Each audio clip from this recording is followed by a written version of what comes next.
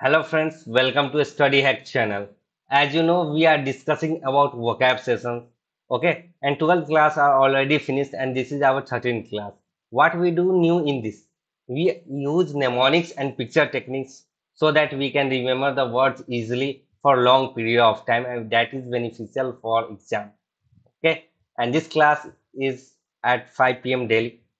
Okay, तो जैसा कि आपको पता कि वकैब की हम एकदम बेसिक से क्लास करते हैं, जिन्हें कुछ नहीं आता होगा, वो भी सीख सकते हैं। और हमारी क्लास पाँच पी पे होती है डेली ठीक है, इसमें हम नया करते क्या है? हम नेमोनिक्स का इस्तेमाल करते हैं और जिनके नेमोनिक्स पॉसिबल नहीं होते, उनको हम पिक्चर और स्टोरी के माध्यम से याद करने की कोशिश करते हैं, ताकि एग्ज़ाम में हमें याद रहे और गलती ना हो हमारे, कोई भी क्वेश्चन ना छूटे। और हमारा जो क्लास होता है, वो 20 से 25 मिनट की क्लास होती है, जिसमें हम सिर्फ़ वोकैब ही नहीं इंग्लिश के इंपॉर्टेंट ग्रामर रूल्स भी डिस्कस कर लेते हैं। और वो ग्रामर रूल्स जिसके मदद से हम इंग्लिश में अच्छा स्कोर कर सकते हैं ग्रामर पोर्सन में, ठीक है? और उसके साथ साथ ही हम प्रीवियस ईयर के क्वेश्चंस भी डिस्कस करते हैं क्वेश्चन आंसर के फॉर्म तो चलिए स्टार्ट करते हैं अपना क्लास और जैसा कि आपको पता है कि मैं होमवर्क देता हूँ तो उनके जो आंसर करते हैं तो मैं उनका नाम अपने क्लास में, अगले क्लास में रखता हूँ। और आपको करना क्या है कि जैसे पाँच बजे हमारी क्लास होती है तो पाँच पच्चीस तीस तक खत्म होती है। तो आपके आपको रात के दस बजे तक सेम डे तक आपको आंसर करना है। अगर आपने किया तो मैं आपको इंक्लूड कर लूँगा। नहीं तो फिर मैं नहीं कर पाऊँगा तो सॉरी उसके लिए। तो विजय लक्ष्मी जी ने आंसर दिया था और स्कॉलर तो सिर्फ़ आपने होमवर्क का सिर्फ़ आंसर दिया। आप क्वेश्चन भी लिखते तो ज़्यादा बेहतर था। क्वेश्चन क्या था? तो क्वेश्चन था हमारा, किसी ने लिखा है क्या? हाँ लिखा है। देखो, किसी ने लिखा है कि ए मैन ऑफ़ लेटर का लिखना था। तो स्कॉलर ठीक है, आपका आंसर सही है। ज्योतिर्मय स्वयं का भी सही है। इसने स्कोर किया सिक्स आउट ऑफ़ सेवन बहुत ही अच्छा स्कोर है, ठीक है? दिव्या कुमारी ने भी किया आंसर इसने एक्स्ट्रा भी कर दिया। रेड लेटर डे का भी। A very happy and important day ठीक है? होमवर्क का भी आंसर किया है। मधुलिका जी ने भी आंसर किया अ रेड डे का, ठीक है? A very happy and important day तो मधुलिका जी, ये तो नहीं था क्वेश्चन क्वेश्चन था हमारा, क्या अ मैन ऑफ़ लेटर ठीक है तो आप पूछा करना था। आपने किया जो भी। बहुत ही काबिल तारीफ़ है कि आपने आंसर किया। कुछ तो सीखा नहीं और स्वाति जी कहती हैं कि आप ग्रेट लर्नर हो तो थैंक यू और ऐसे ही आपके कमेंट जब आते हैं ना तो हमें अच्छा लगता है और मोटिवेशन मिलता है कि हम कुछ और भी बेस्ट दे सके अपना, एकदम बेस्ट से बेस्ट और ज्योतिर्मय जी ने और भी कमेंट किया है कि आप हर सिनोनिम्स के नेमोनिम्स बताओ। ठीक है? तो ये पॉसिबल नहीं हो पाता है नहीं तो क्लास बहुत लंबी हो जाएगी और इंगेजिंग नहीं होगी। फिर बोरियत होने लगेगी आपको क्योंकि एग्ज़ाम में आपको चाहिए कि कम समय में ज़्यादा चीज़ हो। और सारे के निमोनिक्स मैंने ही बता दिए तो आप खुद से डेवलप नहीं कर पाओगे। और हमें क्या चाहिए कि आप खुद से डेवलप करना सीखो, इसलिए मैं कुछ छोड़ देता हूँ जो आप ट्राई करो, ठीक है? और कमेंट में लिखो कि अगर नहीं हो पाते तो उनके लिखो कि मैंने ये नोमोनिक्स ट्राई किया था तो मैं बता दूँगी। क्योंकि अगर आप जब तक खुद से नहीं करोगे तो आप नहीं सीख पाओगे। हमेशा किसी और पे डिपेंडेंट नहीं रहना, आपको सेल्फ डिपेंडेंट बनना है, तभी आप एग्ज़ाम क्रैक कर पाओगे। तो आज का पहला वर्ड है वो कैब का एनीहिलेट एनीहिलेट मतलब होता है विनाश करना डिस्ट्रॉय एलिमिनेट वाइप आउट ये इसके सिनोनिम्स है। ठीक है, अगर आपको एनीहिलेट को रिमेंबर करना है तो कैसे कर सकते हैं? ठीक है? तो एक इंपॉर्टेंट पार्टी है, ठीक है? वहाँ पे एनी को जाना था, ठीक है? और उसके टीम को जाना था। तो एनी ही हमेशा क्या हो जाती है? लेट हो जाती है। एनी ही लेट ठीक है एनी हमेशा लेट हो जाती है, जिस कारण उसका इम्पोर्टेंट पार्टी जो है, वो रह गया, ठीक है। वो पार्टी में नहीं जा पाई या फिर ऐसे बोल सकते हो, किसी बिज़नेस प्रपोजल में नहीं जा पाई तो उसका कंपनी डिस्ट्रॉय हो गया, क्योंकि उनको वहाँ से पैसे मिलने वाले थे, उनका कंपनी पूरा डिस्ट्रॉय हो गया। एनी ही लेट होती है, जिसके कारण विनाश आता है, ठीक है। एनी हमेशा लेट होती है और विनाश लाती है, ठीक है। एनी ही लेट विनाश, ठीक है डिस्ट्रॉय और एंटोनिम्स की बात कर ले तो हो जाएगा बिल्ड क्रिएट तो चलिए मैंने आपको इसका नेमोनिम्स बता दिया याद करने के लिए। आप क्या बना सकते हो, आप कमेंट में ज़रूर बताएँ। चलिए नेक्स्ट की बात करते हैं। नेक्स्ट है एनॉय एनॉय मतलब होता है झुंझला देना। ठीक है, इसके नेमोनिम्स की ज़रूरत नहीं पड़ेगी आपको, क्योंकि आप इस वर्ड को बार बार देखे होगे रिपीटिव है तो आपको याद होगा। ठीक है तो इसके सिनोनिम्स की बात कर ले तो हो जाएगा ऑफेंड इरिटेट इर एग्जस्पेरेट ठीक है, ये इसके सिनोनिम्स है। आप देख पा रहे होंगे इस लड़की को। बहुत ही परेशान हो गई इरिटेट हो गए किसी बात से तो ये झुंझला गई है। ठीक है? और बात कर ले इसके एंटोनिम्स की तो एंटोनिम्स हो जाएगा प्लेजर ग्रेटिफाई ये इसके एंटोनिम्स है एनॉय के। ठीक है? चलिए नेक्स्ट वर्ड पे चलते हैं। नेक्स्ट हमारा क्या? नेक्स्ट है एनोडाइन ये मैंने आपको वन वर्ड सब्सिट्यूशन में पढ़ा रखा है पीछे के क्लासेज में। अगर जो न्यू है, आज ज्वाइन किया तो पीछे के क्लास ज़रूर देखें। उसमें हम, मैंने बहुत डिटेल में बताया था एनोडाइन का। एनोडाइन होता है पीरानाशक और पीरानाश करता कौन है? तो एक मेडिसिन होती है, पेन रिलीफिंग की, ठीक है? उन्हें ही एनोडाइन बोलते हैं, जो आपको पीड़ा से मुक्ति दे तो इसके सिनोनिम्स हो जाएँगे बेनाइन इनऑफेंसिव, इनोकस, ठीक है? और एंटोनिम्स की बात कर ले तो हो जाएगा एडवर्स और डिसएग्रीमेंट, ठीक है? जब आप पेन में हो तो क्या खाओ एनोडाइन खाओ तो आपकी पीड़ा जो होगी, वो हट जाएगी, ठीक है? ये देख पा रहे इस कार्टून को, इसके सर पे कम बाल बचे हैं, इसका भी इसको दुख है। इसका पीड़ा है तो ये क्या कर रहा है? दवा खा रहा है। ये सब इसके लिए एनोडाइन है, जिसको रिलीव देंगे। इसके बाल हो सके तो जो बचे हैं, वो बचे रह जाए। ठीक है? तो ऐसा आप याद कर सकते हो। चलिए नेक्स्ट कर नेक्स्ट है एनोमेलस एनोमेलस का मतलब होता है असंगत या अजीब। एनोमेलस मतलब असंगत या अजीब। इसको बोल सकते हैं पिक्यूलियर एबनॉर्मल बिजेर ये सब इसके सिनोनिम्स है। ठीक है? अब यहाँ पे देख पा रहे हैं इस व्यक्ति को। वेट लिफ्टिंग हैंड की जगह ये सर पे रखा है, जो कि खतरनाक ही और नॉर्मल से हटके है। अब नॉर्मल बोल सकते हैं इसको पिक्यूलियर बोल सकते हैं।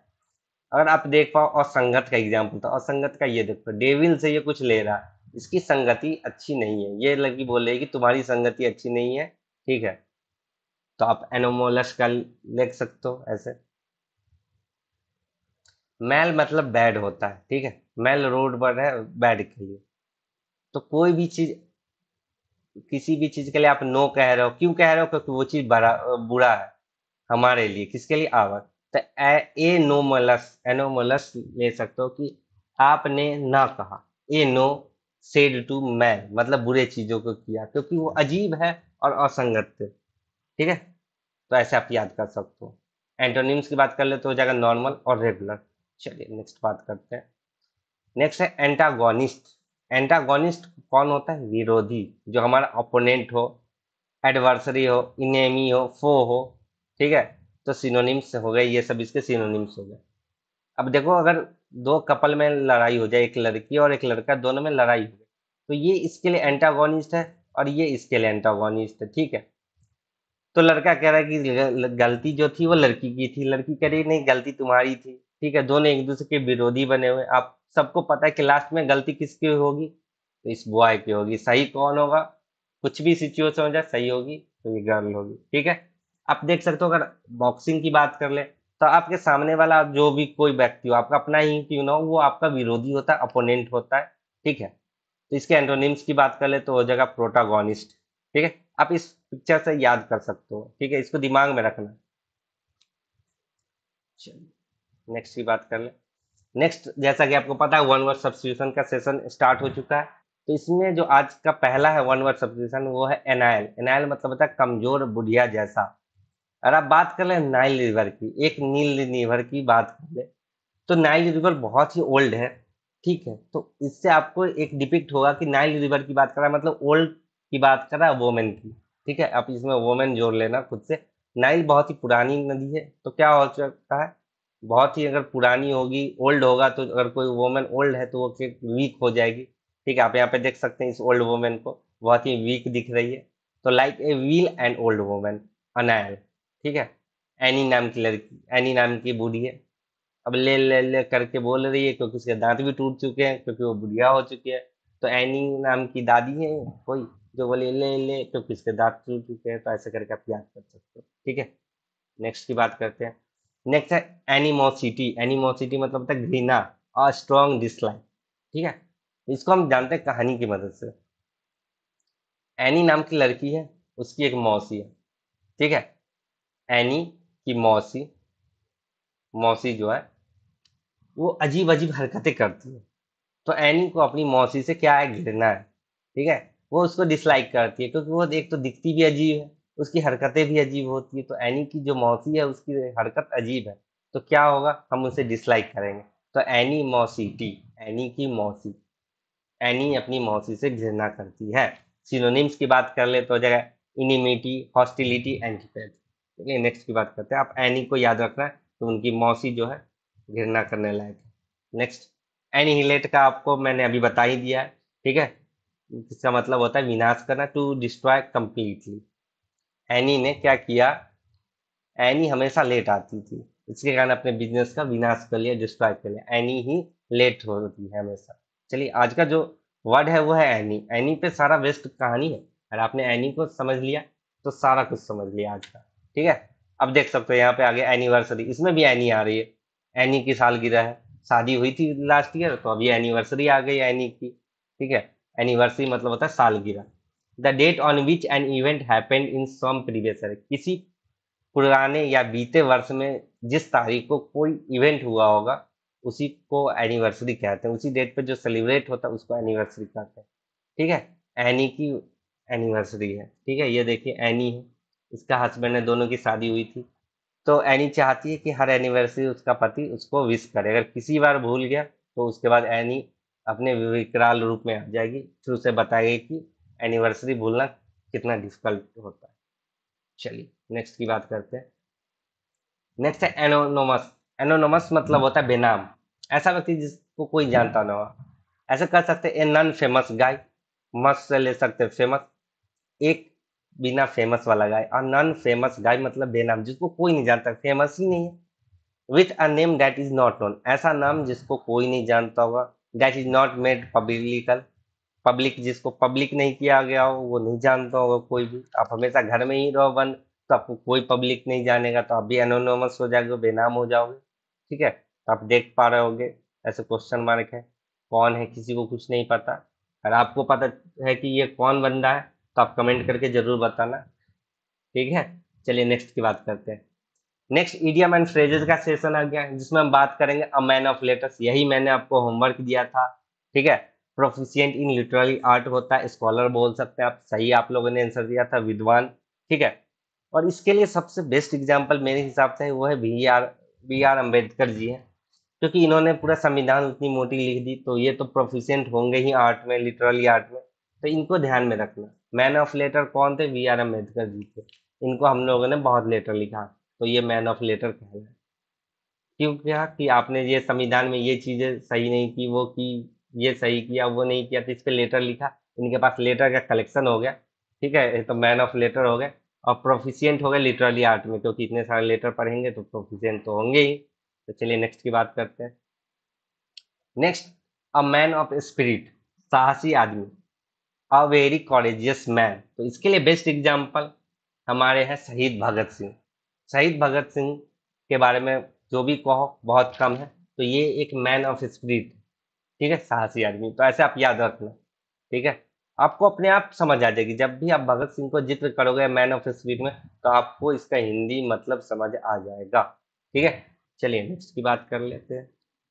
नेक्स्ट है मैन ऑफ़ स्ट्रॉ देख पा रहे होंगे स्ट्रॉ का बना हुआ है। अगर कोई भी स्ट्रॉ का बना होगा तो क्या होगा? कमज़ोर होगा, बहुत ही कमज़ोर व्यक्ति होगा। आप देख पा रहे होंगे, ये बिजूका है, खेतों में लगाते हैं। ताकि ताकि जो भी वाइल्ड एनिमल्स वगैरह हो, वो हमारे फ़सल को नुकसान ना पहुँचा या फिर पशु पक्षी जो भी है, वो नुकसान ना पहुँचाए। तो ये किस चीज़ के बने होते हैं? स्ट्रॉ के बने होते हैं। ठीक है, जो कि बहुत ही कमज़ोर होते हैं। और बहुत तेज आंधी आती है तो गिर भी जाते हैं।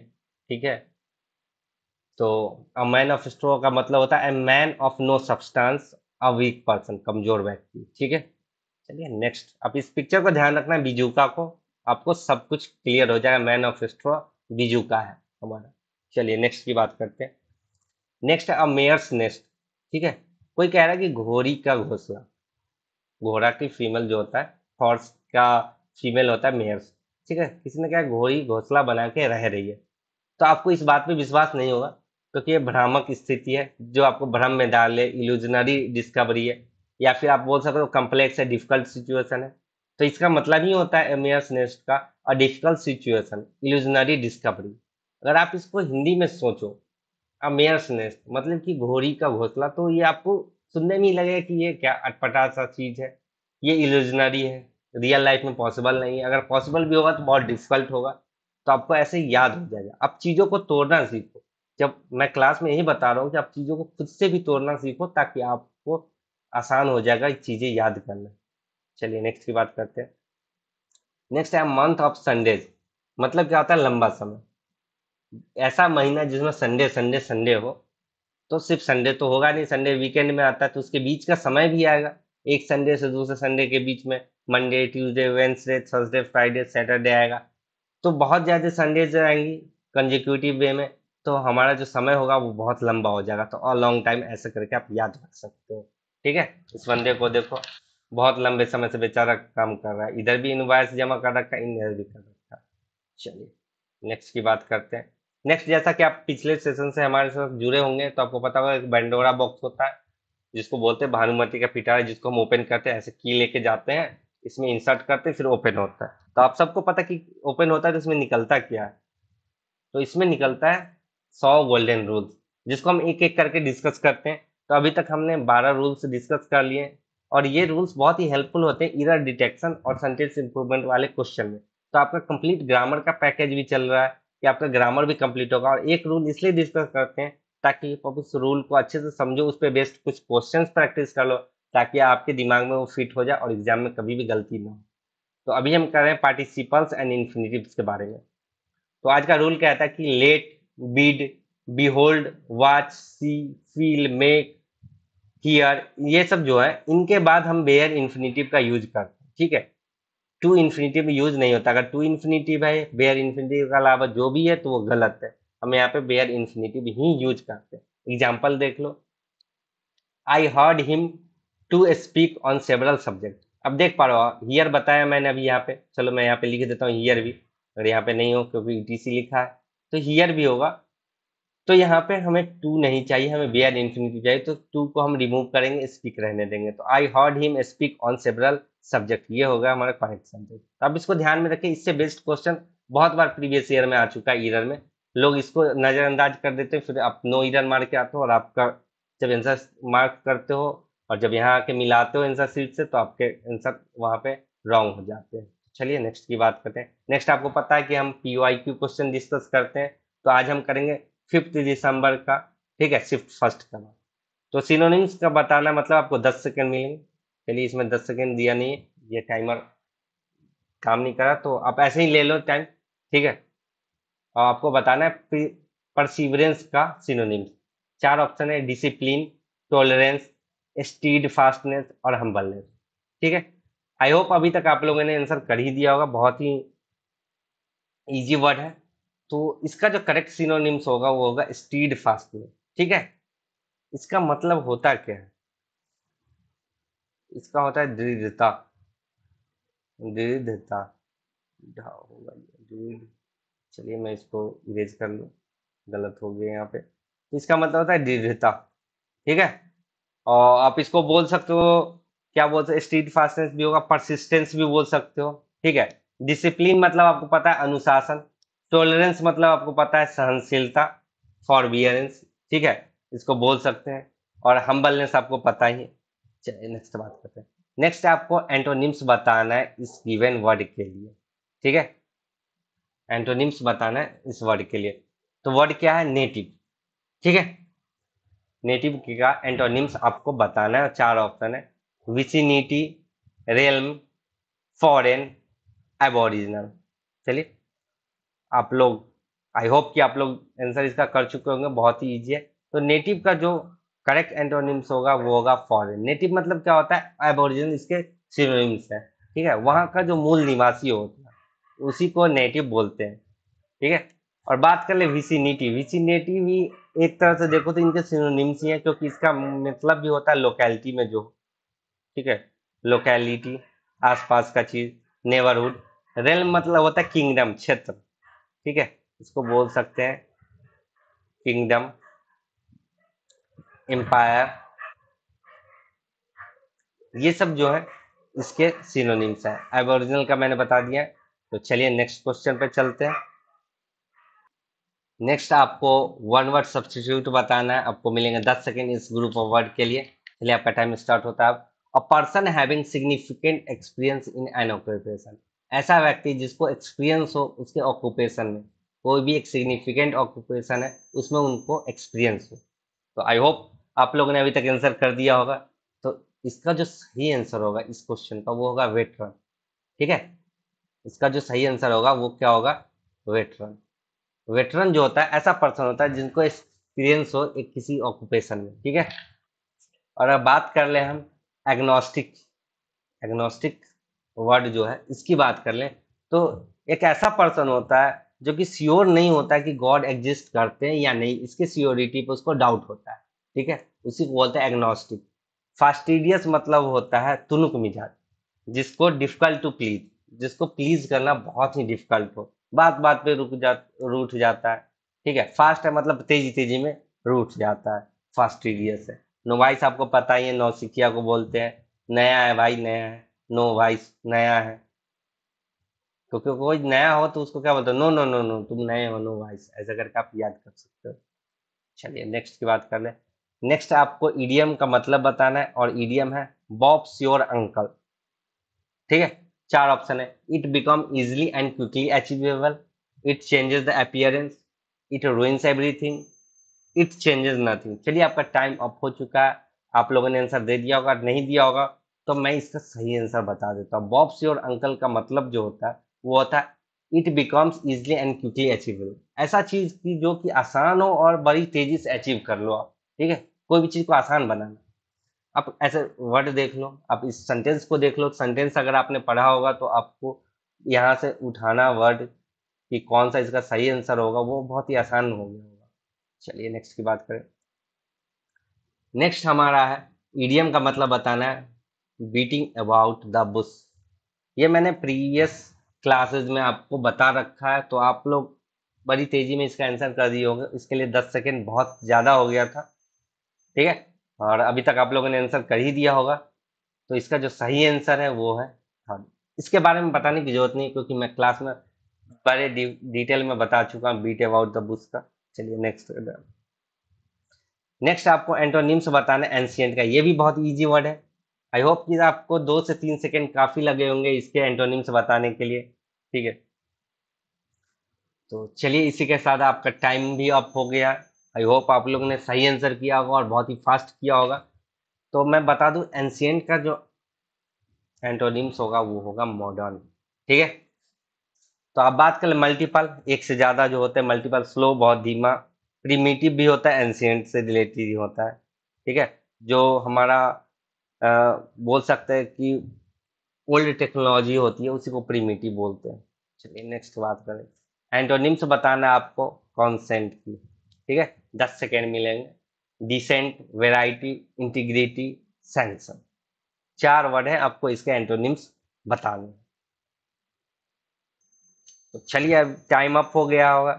आप लोगों ने आंसर कर दिया होगा। आई होप सही आंसर किया होगा। तो इसका जो सही आंसर होगा डिसेंस होगा। ठीक है? डिसेंट कंसेंट डिसेंट कंसेंट का अपोजिट है डिसेंट देख पा रहे होंगे आप ऐसे ही भी कंसेंट डिसेंट ऐसे एंटोनिम्स कर पा रहे होंगे। तो कंसेंट मतलब होता है एग्रीमेंट किसी चीज़ के लिए सहमति होना, इसको बोल सकते हैं एग्रीमेंट चलिए मैं लिख लो। एग्रीमेंट कॉन्सेंट मतलब हो जाएगा एग्रीमेंट हो जाएगा। अब बोल दो तो एसेंट हो जाएगा। एसेंट हो गया अकॉर्ड हो जाता है। ये सब इसको सिनोनिम्स है। डिसीजेंट अपोजिट है तो इसका हो जाएगा डिसएग्रीमेंट इसको बोल सकते हैं डिसएग्रीमेंट ठीक है, और क्या बोल सकते हैं इसको? ऑब्जेक्शन किसी भी चीज़ पर ऑब्जेक्शन लगा देता है। तो ऑब्जेक्शन भी हो जाएँगे इसके सिनोनिम्स वेराइटी आपको पता है, विभिन्न विभिन्न विभिन्नता है। ठीक है इंटीग्रिटी आपको पता है। इंटीग्रिटी मतलब होता है अखंडता, इसको बोल सकते हैं यूनिटी यूनाइट करना। इसको बोल सकते हैं यूनिटी तो आपको यूनिटी से याद लगाइए इसको बोल सकते हैं होलनेस ठीक है? होलनेस भी इसका ही सिनोनिम्स है। तो ऐसे आप याद रखें। सैंक्शन मतलब क्या होता है? अनुमति देना। ठीक है? सहमति देना कंसेंट देना। ठीक है? तो आप देख सकते हो कॉन्सेंट का ही सिनोनिम्स है। सैंक्शन भी एक तरह से कंसेंट का ही सिनोनिम्स है। आपको कोई भी चीज़ सैंक्शन करवाना होता है तो आप क्या लेते हो? परमिशन ही लेते हो। कंसेंट ही लेते हो। हम ही भरवाते हो, तभी कुछ चीज़ होता है सैंक्शन चलिए नेक्स्ट जैसा कि आपको पता है होमवर्क का सेशन मैंने इंक्लूड किया और आपको एक पिक भी दे रही है, ताकि आप इसको देख के भी थोड़ा सा डिपिक्ट कर पाए कि मैंने जो पूछा वन वर्ड उसका मतलब क्या होगा। Obsessive desire to lose weight by refusing to eat ठीक है? तो आपको फटाफट करना है और कमेंट में आंसर करना है। चलिए नेक्स्ट बात कर रहे तो आज के लिए बस इतना ही। जैसा कि आप देख पा रहे हो कि अभी 24 से 25 मिनट हुए होंगे। जैसा कि मैं बोलता हूँ कि हमारी क्लास 25 से 30 मिनट में खत्म हो जाती है। तो मैं उस बात पे हूँ कि 25 से 30 मिनट में हमारी क्लास खत्म हो जाए। तो आज के लिए बस इतना ही। अगर आपको वीडियो अच्छा लगा हो तो लाइक कर दें, अपने दोस्तों में शेयर कर दें जिनको भी वोकैब पढ़ना है एकदम बेसिक लेवल से विथ ग्रामर रूल्स ऐसे इंपॉर्टेंट ग्रामर रूल्स जिसके हेल्प से आपका कंप्लीट पैकेज है। इंग्लिश का आपका कंप्लीट इंग्लिश तैयार हो जाएगा। तो फिर मिलते हैं नेक्स्ट वीडियो में। कुछ नया करने की कोशिश करूँगा, कुछ नए वर्ड्स लाऊँगा नेमोनिक्स नए बनाऊँगा। और आप लोग खुद से नेमोनिक्स बनाना शुरू कर दो। ये आपके लिए फ़ायदेमंद होगा। ठीक है? तो तब तक के लिए जय हिंद, जय भारत।